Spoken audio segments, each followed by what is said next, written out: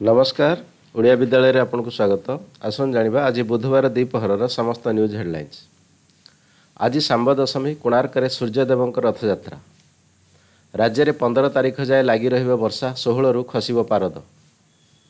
ରାଜ୍ୟରେ ଆଠ ହଜାର ଡେଇଁଲା ଦୈନିକ ସଂକ୍ରମଣ ଚବିଶ ଘଣ୍ଟାରେ ବାହାରିଲେ ଆଠ ହଜାର ସାତଶହ ଅଠସ୍ତରୀ କୋଭିଡ୍ ପଜିଟିଭ୍। ପଞ୍ଚଭୂତରେ ଲୀନ ହେଲେ ମିହିର ଦାସ ସତୀଚଉରାରେ ସମ୍ପନ୍ନ ହେଲା ଶେଷକୃତ୍ୟ। ଦିଲ୍ଲୀ ଓଡ଼ିଶା ସମେତ ଅନ୍ୟ ରାଜ୍ୟରେ ବଢ଼ୁଛି କରୋନା। ଆସନ୍ତାକାଲି ମୁଖ୍ୟମନ୍ତ୍ରୀଙ୍କ ସହ କଥା ହେବେ ପ୍ରଧାନମନ୍ତ୍ରୀ। ଭୁବନେଶ୍ୱର ଏମ୍ସରେ ବଢ଼ୁଛି କୋଭିଡ୍ ରୋଗୀଙ୍କ ସଂଖ୍ୟା। ଓପିଡିରେ ସାଧାରଣ ରୋଗୀଙ୍କ ଚିକିତ୍ସାକୁ ନେଇ ଲାଗିଲା କଟକଣା।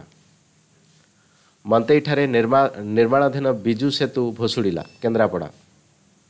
ଭିଜିଲାନ୍ସ ଜାଲରେ ବ୍ରହ୍ମଗିରି ସମାୟତ ସମିତିର ପୂର୍ବତନ ଏସ୍ଆର୍ସି ପାଞ୍ଚଟି ସ୍ଥାନରେ ଚଢ଼ାଉ। ପୁନେରେ ଶେଷ ହୋଇଥିଲା ଅଣଚାଳିଶତମ ଜାତୀୟ ବରିଷ୍ଠ ରୋଇଂ ପ୍ରତିଯୋଗିତାରେ ଓଡ଼ିଶାକୁ ପାଞ୍ଚଟି ସ୍ୱର୍ଣ୍ଣ ଦୁଇ ରୌପ୍ୟ ଓ ତିନି କାଂସ୍ୟ ପଦକ ମିଳିଛି। ବଢ଼ୁଛି ହାତୀ ଉପଦ୍ରବ୍ୟ ମହିଳାଙ୍କ ଘରୁ ଘୋଷାଡ଼ି ମାରିଲା ଦନ୍ତା କାମାକ୍ଷାନଗର।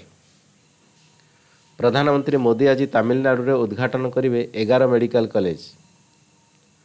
ପିଏମ୍ ମୋଦିଙ୍କ ସୁରକ୍ଷା ତ୍ରୁଟି ପ୍ରସଙ୍ଗ ତଦନ୍ତ କରିବ ସୁପ୍ରିମକୋର୍ଟର ଚାରିଜଣିଆ କମିଟି। ତଦନ୍ତ କମିଟିର ମୁଖ୍ୟ ହେଲେ ଜଷ୍ଟିସ୍ ଇନ୍ଦୁ ମାଲହୋତ୍ରା।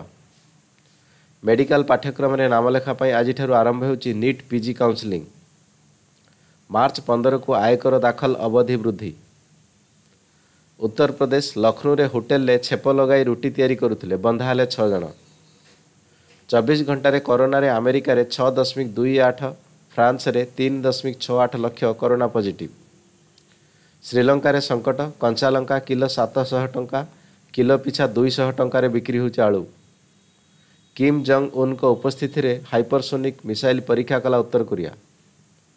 ତୁର୍କମେନିସ୍ତାନର ନର୍କ ଦ୍ୱାରକୁ ବନ୍ଦ କରିବା ପାଇଁ ପ୍ରସ୍ତୁତି ଗଭୀର ଗର୍ତ୍ତ ମିଥେନ୍ ଗ୍ୟାସ୍ ନିର୍ଗତ କାରଣରୁ ଲଗାତାର ଜଳୁଛି। ତୃତୀୟ ଟେଷ୍ଟରେ ଆଜି ନିର୍ଦ୍ଧାରିତ ହୋଇପାରେ ଟିମ୍ ଇଣ୍ଡିଆର ବିଜୟ।